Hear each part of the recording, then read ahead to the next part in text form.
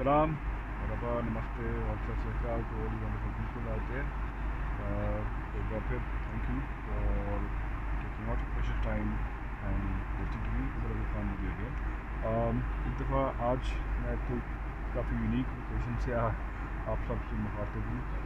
in fact I am currently approximately 37 to 38,000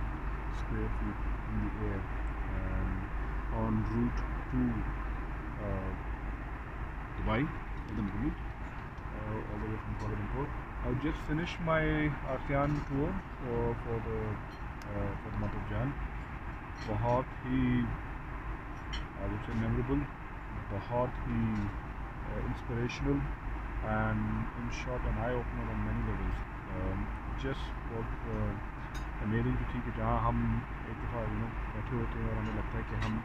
life के इस particular track पर चल रहे हैं and we know it all or we've seen a lot of things and you know there's not much that one can probably learn from from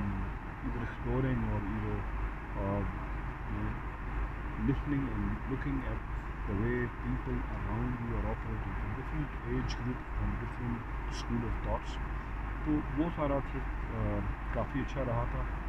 रहा है बल्कि तो बहुत आई थिंक लास्टिंग इंप्रेशन आएंगे personal life could be individually, personally, and uh, on a professional front. And um, at the same time, I think obviously when you when you travel, uh, apart from the odd timing of flights, which I never really appreciate, like you enjoy, you enjoy the uh, I would say the flavor of life that you get to experience, be it on different airlines, or be it with the cuisine that you get to see, or be it with the lifestyle मुख्तलिफ़ शहरों में लोगों की सोच लोगों का रहन सहन I think it's it's a blessing specially जो मेरा लाइन ऑफ़ वर्क है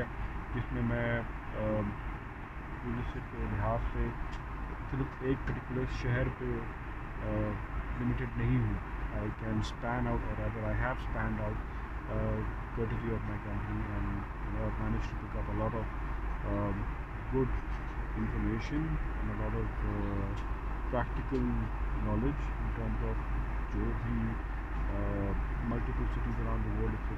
कैसे परफॉर्म कर रहे हैं in terms of investment in anyways तो द आइडिया बेसिकली वही था कि लंबी फ़्लाइट थी, काफ़ी बहुत सेवन आवर्स सो काफ़ी टाइम मिल गया